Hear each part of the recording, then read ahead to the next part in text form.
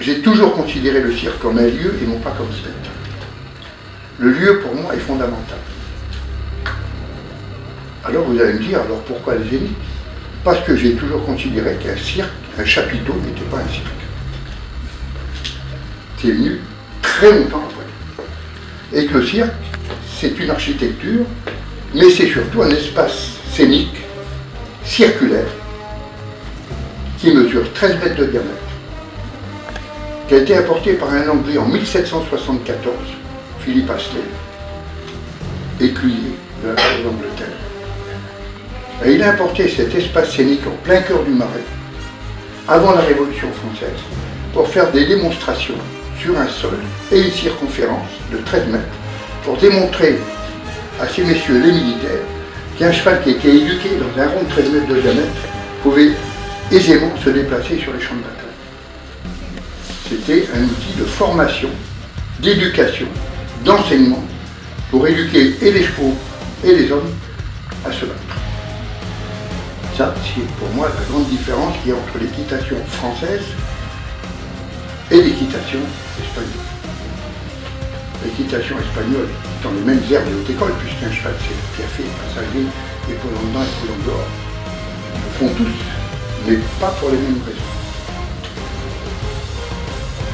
Dans la péninsule ibérique, c'est pour la tauromachie, c'est pour trier les taureaux.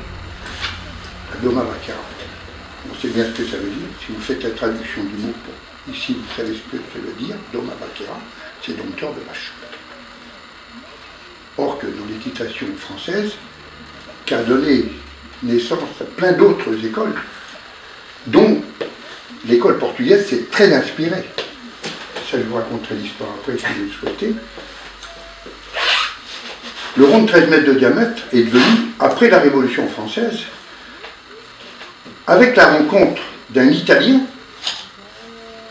et d'un Anglais, à Paris, dans la rue du Faubourg du Temple, je saute une petite étape, c'est celle de, la rue des, Tuileries, des vieilles Tuileries. Ça, c'est le jour où il a installé le rond de 13 mètres. Et après, il y a eu une telle évolution rapide et d'intérêt pour, les militaires de voir se développer ce travail, que très très vite, ils ont créé des lieux, d'autres lieux, donc celui de la rue du Faubourg du Temple. Tout ça en plein cœur du Marais. Imaginez déjà à l'époque un Anglais, un Italien en France. On est déjà à, l'Europe d'aujourd'hui. Et euh, l'Italien, lui, c'est un peu mes origines, puisque je suis moitié alsacien, moitié italien, sur six générations dans ma famille, puisque mes enfants et mes petits-enfants ont les mêmes racines, italiennes et alsaciennes. C'est du reste ce qui m'a inconsciemment euh, séduit les premiers jours que je suis arrivé dans le Vaucluse avec mon cirque, c'est que je me suis retrouvé sur la rive italienne du Rhône. Au niveau de la gastronomie, de l'éducation, de la culture, les théâtres sont de l'autre côté du Rhône, les arènes sont de ce côté-ci. Et ça m'a toujours intéressé, les deux. Purlinx, c'est à 50 km de Nîmes et à 100 km de Montpellier, c'est vraiment tout à côté. Et donc cette culture du cheval, du taureau, et de l'autre côté de l'école italienne, qui a donné naissance à l'équitation française encore avant, avec Puvinel, et bien sûr à l'époque d'Henri IV, c'est là où tout a commencé. Et on s'aperçoit que d'année en année, cet Italien essaye de convaincre l'Anglais qu'il va faire entrer dans la piste des saltimbanques. Ça c'est le côté italien. Saltimbanque, ça veut dire sauter sur le banc. C'est un mot italien, saltimbanque, sauter sur le banc. C'est-à-dire les comédiens, les acrobates sur scène et tout ça. Mais il y avait un problème à cette époque-là, c'est que les saltimbanques n'avaient pas le droit de s'exprimer ailleurs que sur les planches.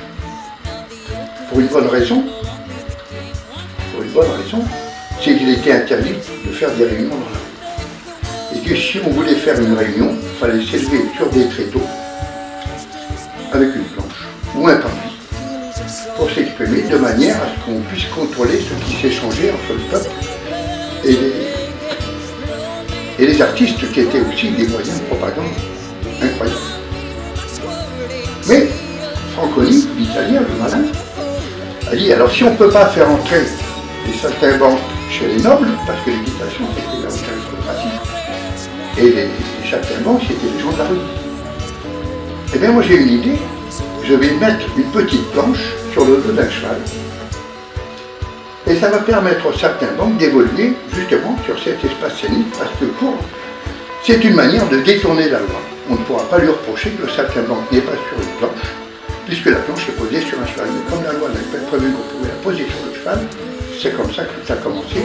Et c'est ce que vous verrez dans ce spectacle Pégase C'est le formidable extraordinaire numéro des cuillères qui est pour moi le symbole de mon cirque qui existe depuis 1974, cette formule cirque.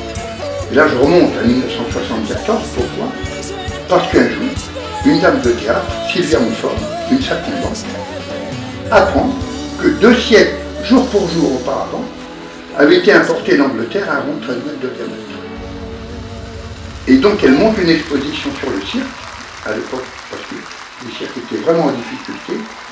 C'est déjà à cette époque-là, ou un petit peu avant, même que mon père et mon oncle s'étaient séparés, pour vous restituer les deux hommes, on en parlait un petit peu euh, tout à l'heure, et à, France Bleu, j'ai fait une émission euh, juste avant de venir ici, j'expliquais que le cirque de mon père et mon oncle était un cirque radiophonique qui est né en 1948-49 et qui s'appelait le Radio Circus.